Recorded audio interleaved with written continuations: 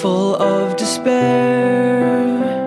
Inside a darkness Self-conscious and scared Held prisoner of war Running out